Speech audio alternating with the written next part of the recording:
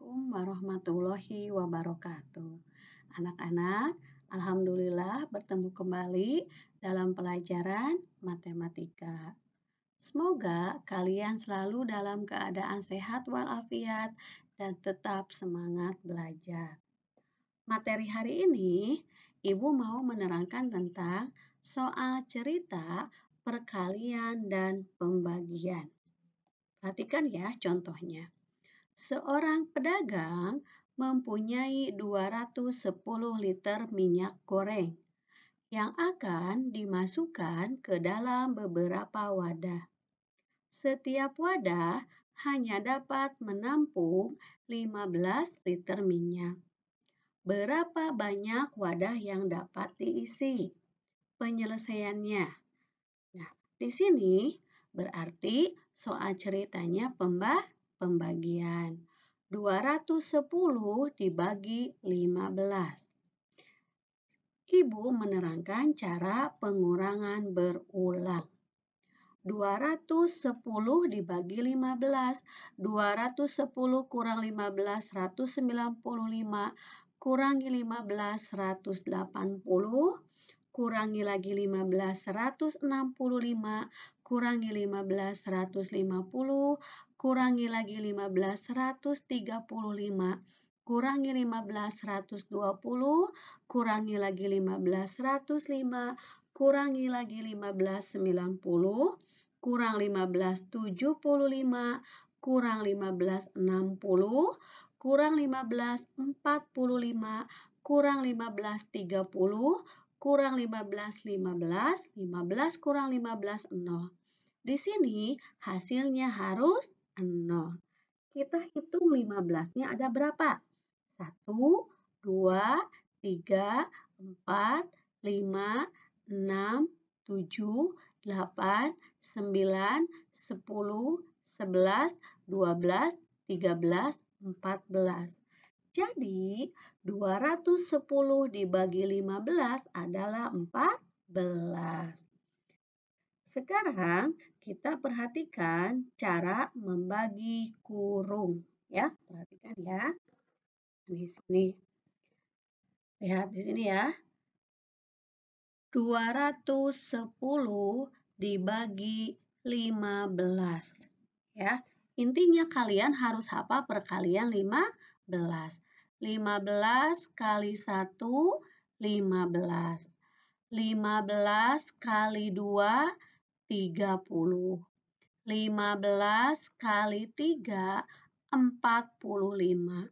15 kali 4, 60.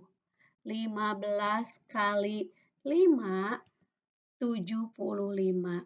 15 kali 6 sama dengan berapa? 90. 15 kali 7, 105. Cukup dulu sampai sini ya. Sekarang kita bagi kurung. Caranya perhatikan ya. 210 dibagi 15. Di sini 15 ada dua angka. Ambil di sini dua angka. Nih, kita kurung kita ya. Nih. Berarti angka berapa di sini? Angka 21. 21 dibagi 15. 15 kali berapa? Mendekati 21. Di sini ada 15 kali 1, 15. 15 kali 2, 30. Tidak boleh melebihi 21. Berarti 15 kali 1. Tulis 1 di sini. 1 kali, dikalikan ya. 1 kali 15. 15. Nah, sekarang kita kurangkan. 21 kurang 15. 11 kurang 5 dapat 6. Turunkan angka 0. Didapat 60. 60 dibagi 15 sama dengan 15 kali berapa hasilnya 60. Oh, ternyata 15 kali 4. Nih, empatnya tulis di atas. 4 kali 15, 60. kita kurangkan. Hasilnya 0. Sama ya hasilnya ya. 210 dibagi 15 itu hasilnya adalah 14. Kita perhatikan contoh yang kedua. Perhatikan ya. Di sini. Terdapat 12 kelurahan di desa Tegal Warna. Setiap kelurahan terdiri atas 135 keluarga. Berapa jumlah keluarga di desa Tegal Warna? Di sini soal ceritanya dalam bentuk perkalian. Ya, perhatikan ya, perkaliannya berarti lihat untuk mempermudah yang angka ratusan simpan di atas ya. Nih, 135 dikali 12 ya. Nih, di sini ada baris satu dulu, baris satu. Dua kali lima. Dua kali lima sama dengan sepuluh.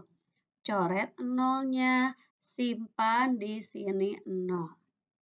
Kemudian tetangganya lima. Dua kali tiga sama dengan enam. Tambah satu. Satunya dari mana nih? Satunya dari sini ya. 6 tambah 1 sama dengan 7. Tulis 7 di sini. Terakhir 2 kali 1 sama dengan 2. Nih, di bawah angka 0 boleh dikasih titik, boleh dikasih lingkaran, ya. Tidak usah diisi. Sekarang setelah 2 kita kalikan 1. 1 kali 5 sama dengan 5. Di sini tulis 5. Setelah sekali 5, 1 kali 3 sama dengan 3. Tulis di sini 3. Yang terakhir, 1 kali 1 sama dengan 1. Tulis di sini 1. Kemudian kita jumlahkan. 0, 7 tambah 5, 12. Tulis di sini 2 simpan di atas satu. Satu tambah dua, tiga. Tiga tambah tiga, enam. Ini satu. Titiknya tiga angka dari belakang. Satu, dua, tiga. Jadi 135 dikali 12 itu adalah 1620 ya. Nih. Anak-anak untuk materi soal cerita hari ini, Ibu cukupkan sampai di sini. Bila ada materi yang kurang mengerti, kalian boleh tanyakan ke Ibu ya. Nih, untuk latihannya ada di Google Form ya. Kalian kerjakan ya. Anak-anak, materi matematika hari ini Ibu cukupkan sampai sekian. Ibu tutup dengan Wassalamualaikum warahmatullahi wabarakatuh.